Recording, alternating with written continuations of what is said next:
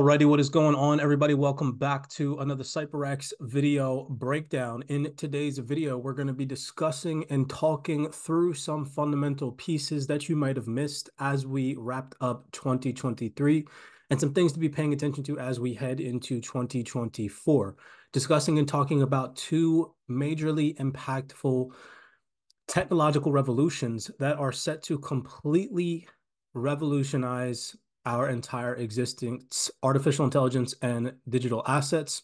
Just giving you guys some um, insights from some industry leading experts and some large financial institutions, just to solidify that this is where things are headed, that we are in a fourth industrial revolution, i.e., a digital transformation.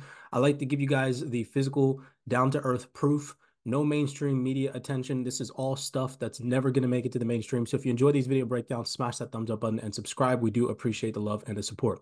Now we're going to start here with this Deloitte document, major consulting firm helping large organizations with this digital transformation process. And they go on to mention that the time to prepare is now. This is something that we've been attempting to convey to the general public across all of our platforms for some time that if you do not study, if you do not start to get involved now, you will most likely fall behind.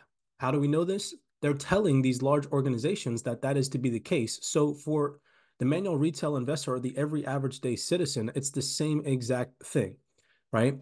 so looking at this document, this document is called Crunch Time Finance 2025, and it gives some of their predictions. Now, again, that significant year, 2025, in my personal opinion, is going to be the year where we see uh, at least a semi peak of the next bull market cycle that we are about to enter into. Summer 2025, in my personal opinion, is going to be very interesting because that is when a lot of regulations in the digital asset space and artificial intelligence space will be further solidified. Here you can see it goes on to talk about the finance factory transactions will be touchless as automation and blockchain reach deeper into financial operations. And then here it goes on to say how none of us know for certain what the future will hold, but we will all have a responsibility to be thinking about what is likely to happen and to prepare for it now. Okay. So again, this is a message from a major consulting firm. This isn't coming from us here at CYPRX. We're just conveying this information to you all. It also says here how over the next seven years, these uh, same technologies will be coming to your organization with the promise of making finance better, faster, and probably less expensive. So again, just showing you all that they tell you these things in advance, that you should be preparing for it and that you should be educating yourself on these technological advancements. Now, this was a very interesting uh, fundamental piece put out in the CYPRX private research, and it goes on to solidify that the infrastructure, the foundational layer uh, that is capable of handling financial liquidity and volume is set in place and is ready for these large financial institutions to start to start trading and transacting in these digital assets, which is extremely bullish because in the previous bull market cycles, back in 2017, 2020, and 2021, we did not have that foundational infrastructure ready to handle large amounts of volume via these institutional players. So I find any development surrounding these topics very interesting. And you can see this is a partnership with an organization called RuleMatch and a partnership between them and Metaco. And you can see here it talks about how a growing number of banks and financial institutions have actually been quite active in the cryptocurrency market. Here you can talk, here you can see that this RuleMatch platform is only for banks and security firms. And those are the only people that can become RuleMatch participants. So this is not for retail. This is just to solidify that these banking institutions now have platforms that they can utilize to onboard themselves into the space. This is directly from rulematch.com and it says RuleMatch is a premier digital asset trading venue for financial institutions. Built with NASDAQ technology and located in Zurich, the heart of Europe, RuleMatch offers spot trading of cryptocurrencies and digital assets. It adheres to the highest of standards for the financial industry. Participants on RuleMatch are served by a broad and experienced team of banking, technical, and crypto financial experts. The mission of RuleMatch is to accelerate the tradition of trading digital assets for financial institutions with best in class technology and service and help open the way for the next great phase of the industry's evolution. So, this is extremely bullish in my personal opinion. Obviously, them partnering with Metaco, a Ripple acquired digital asset custody provider, is aside the point. But the fact that we're seeing the foundational infrastructure, the, the support needed for these financial institutions to onboard themselves being built behind the scenes is extremely bullish in my personal opinion. Now, I want to take your attention since we're on the topic of infrastructure and that foundational layer being built for these large financial institutions. I want to take your attention to a PDF that was shared in our private CYPRX research chat from Citi. Okay, so again, this is coming from a very large financial institution.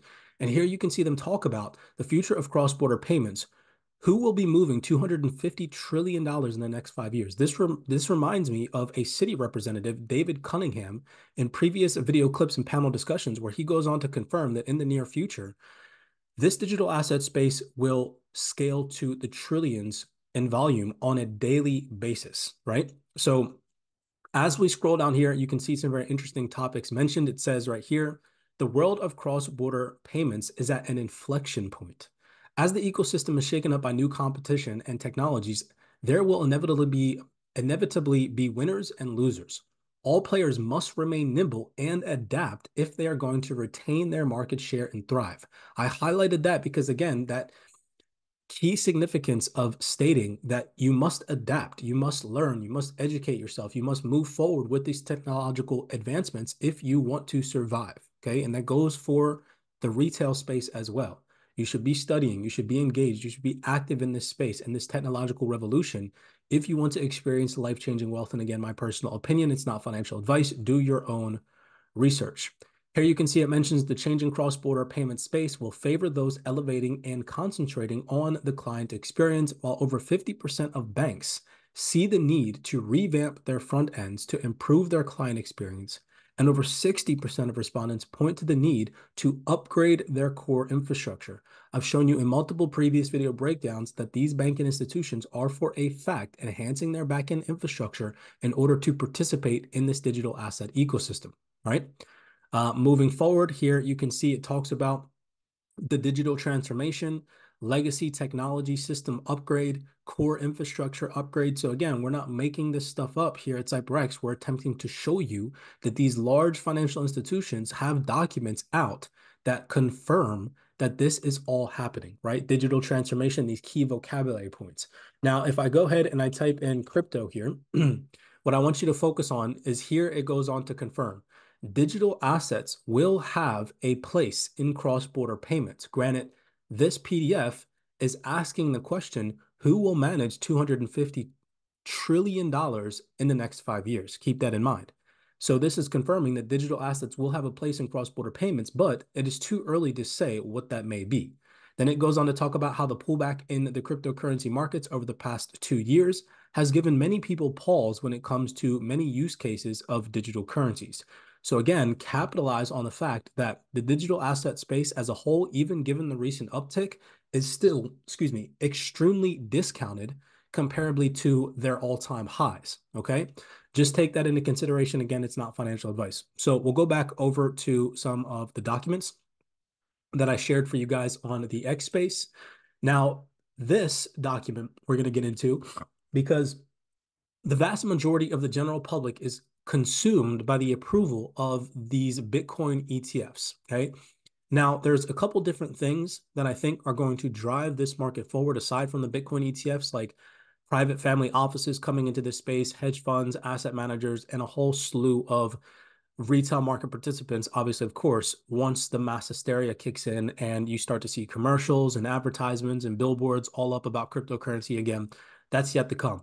Um, but here you can see this document talking about how they project the market cap of the digital asset space to reach $49 trillion by 2025. Okay, this is coming from the Global Digital Asset Outlook 2024 PDF, again, shared in our private CYPRX research chat. But now here, this is what I want you guys to focus in on because the vast majority of the mainstream media is projecting these Bitcoin ETFs to get approved on the 10th of January. Yet here, you can see a list of final deadlines for these spot Bitcoin ETFs, and they push all the way back until May of this year. I'm not stating that this is set to happen or that these Bitcoin ETFs aren't going to get approved next week. If they don't, don't be butthurt if we see some market manipulation, given the fact that it was projected to the masses on the mainstream media. Here you can see the dates. So that way you have them before they start being projected to the masses on the mainstream. As always, trying to keep you guys ahead of the curve. You can see the, the longest Bitcoin ETF approval date goes all the way to the 30th of May, and that is for Franklin Templeton's Bitcoin ETF and Hashdex Bitcoin ETF. Okay. And you can screenshot these dates if you want, so that way you have them to be paying attention to. now, going back to this document where it talks about $49 trillion by 2025. How do we accomplish that? Well, remember in a previous video breakdown, I mentioned to you guys via a panel discussion that these banking institutions know who holds the most wealth in the world right now, and that is baby boomers. They hold like 80% of the global wealth in the market right now. Okay, so here, this is a document confirming that the banks are coming for the boomers' money. Okay, this is the document Old Mutual unveiling our journey of transformation. Again, talking and discussing about that digital transformation vocabulary. Here you can see it says, a forthcoming trend on the horizon focuses on digital asset offerings as high net worth individuals and clients actively pursue portfolio diversification. So we know that these baby boomers, okay, these high net worth individuals are going to want access to this digital asset class. And the banks know that. The banks are going to want to house that money once that transition comes. Okay, that's what they're building right now. Their interest now spans a wide spectrum of external investment solutions, particularly in digital assets, from cryptocurrencies to indirect crypto investments through exchange traded funds, i.e., ETFs. Again, it says right here financial advisors must proactively adapt to stay relevant. So there's that consistency. You've now seen three documents mentioned that in order to stay relevant, in order to not go extinct, in order to um, evolve with the changing landscape, you must adapt. You must educate yourself. You must start to engage in these digital assets. I cannot stress enough the like the evidence is clear as day. And again, this, the mainstream media is never going to show you any of these documents. So that's why, again, you should be subscribed to CYPRX. You should be following us. And if you want access to any of this information, join our monthly Discord server where we have hundreds of documents, hundreds of hours of research on these topics, and you can just go do the research yourself. Okay. Educate yourself further, help your family, help your friends learn what's happening behind the scenes. Moving on, um, we have some very interesting documents and fundamental dates coming up in the near future. So we're going to transition over to that. In 2024, some massive summits and some blockchain conferences to be paying attention to. Here you can see this is a identity and payments summit coming up, digital currencies, and it mentions are reshaping finance. They offer new payment frontiers, cross-border investments, and secure contracts via blockchain. Uh, this event is coming up in February the 26th to the 28th in 2024, so something to be paying attention to. But what I noticed is that these participants were sponsoring the event and going to be participating. FIS, which is a Ripple partner. Um, then we also have MasterCard, which is a Ripple partner. And then we also have IDEMIA, which is a Hedera partner. So I find that very interesting. Again, just paying attention to detail. Here you can see it mentions how we are on the verge of a new frontier for payments, right? It talks about how digital currencies will shape the future of payments in one way or another. So again, this is an event that's set to come out in the near future in 2024. Keep that in mind, given the mass hysteria and fear narrative that had been pumped through the markets all the way back in 2022 and throughout the majority of the year in 2023, right? They tried to take your attention away from the digital asset space, but this particular event was probably planned months ago, okay?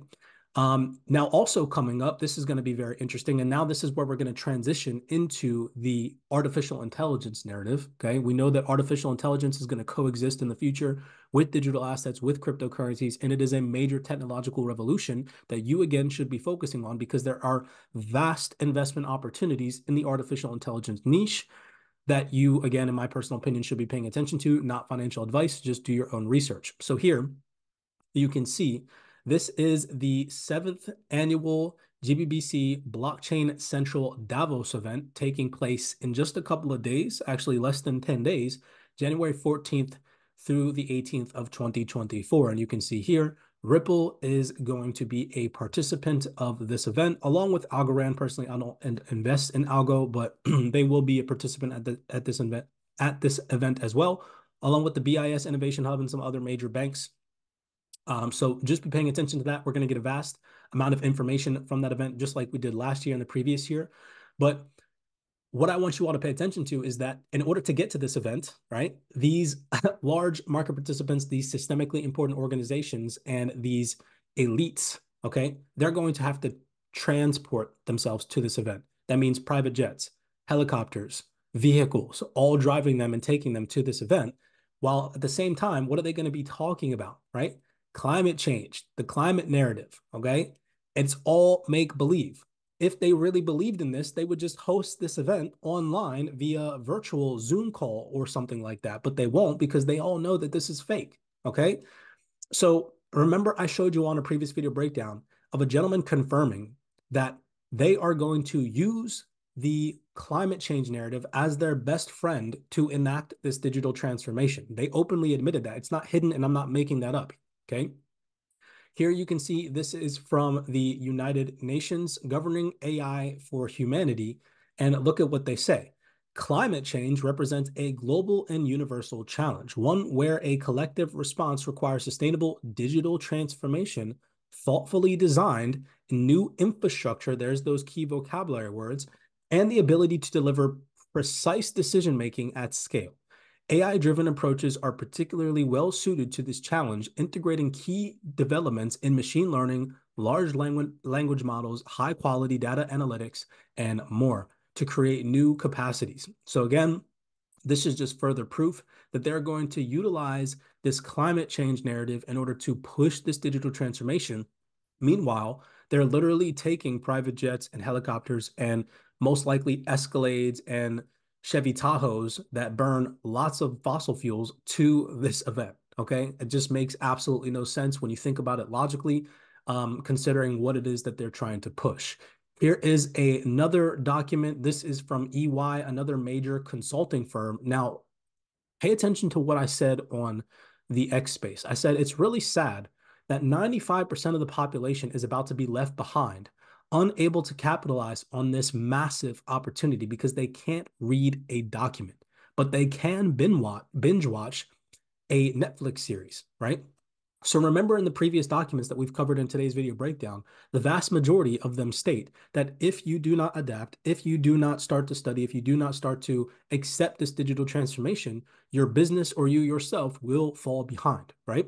Well, here this is confirming that a lot of these large organizations are set to transform their backend infrastructure. Here it says 64% of companies that have already experienced a significant impact from Gen AI expect that it will redefine their entire business and operating model in two years or less. This document was from 2023. So think about that time frame. That puts us in when? 2025. Okay, 2025, I'm telling you guys right now, is going to be such a significant year.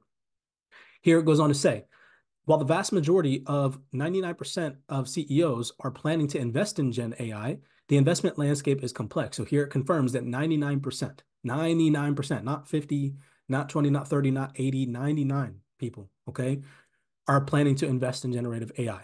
70% of CEOs recognize that their organization must act now on Gen AI to avoid giving their competitors a strategic advantage. Hmm. Again, there's that mention of if you do not adapt, if you do not start to invest, if you do not start to engage in this fourth industrial revolution, you will be left behind, right? The evidence is clear. This is now over five documents from large organizations confirming this information. It's not me making this up. I'm just here as a middleman presenting this information to you all so you can tap in, okay? It, we're in an age of information. If you are neglecting yourself, the ability to educate your family, your friends, your own personal interest further, I mean, I don't know what to tell you. It's literally embarrassing at this point if you can't just take some time out of your day to see what's happening um, via the back end and not what's happening through the mainstream. What's happening in the mainstream right now? Freaking aliens walking around Miami. I swear it's insane. Meanwhile, all this stuff is happening. Okay. People are not paying attention. Now, here's another event coming up, and I thought that this one was interesting. I'll end the video here. So many blessings to you guys. If you've enjoyed this video breakdown, if you enjoy these types of updates, giving you all the realest information behind the scenes via the documents, these large institutions, these organizations actually telling you this stuff, smash that thumbs up button, subscribe again, consider joining us in the monthly CYPRX Discord where you have access to all of this stuff. Not only that, but you have access to our technical analysis, our fundamental breakdowns, and engagement with inside our private CYPRX community. Um, but tap in. Okay. Now is the year. If you don't know where to find this stuff, I'm giving you a platform. We've built a platform here at CYPRX for you to have information uh, uh, at an easily reachable, um, you know, glance. Okay. It's very simple to do this type of research. Here is another event happening in 2024, particularly in April, which is my birthday month. Um, but here you can see, let's just pay attention to these organizations. Okay, this is literally a vast list of large banks. Bank of America, you got American Express, BNP Paribas, you got freaking PNC, you got Wells Fargo, State Street, Citibank. I mean, this is literally trillions of dollars in one screenshot, right? So take that into consideration because look at what they're going to be talking about here. Deep dive tracks synchronizing innovation where banking experience meets cutting edge technology. Okay. On April 3rd, they're going to be talking about advancing the ABCs. What are the ABCs? Assets, blockchain, and crypto. So they will be discussing and talking about this as we head into 2024. Remember, crypto is not dead, it's not going anywhere. This digital transformation is just going to take time. Last but not least, it says the future of banking is digital. It is no longer a question, but a fact. So this is just to prove to you all again, this is a statement coming from a blockchain or a summit, okay, a digital finance summit where it's going to host all of these large banking institutions. And they're telling you that this digital transformation is a fact. Okay. So, again, just trying to show you all that we're not making this stuff up. This is for you to tap in. Many blessings. Make sure that you subscribe to the platform, smash that thumbs up button so that it helps boost the algorithm and push these videos out to more individuals interested in this information like yourselves. Remember, I'm not telling you guys to go out there and invest in digital assets and invest in artificial intelligence, but what I am asking that my followers take it upon themselves to do is to tap into research to make your own informative decisions. As always, I'll see you all in the next video breakdown.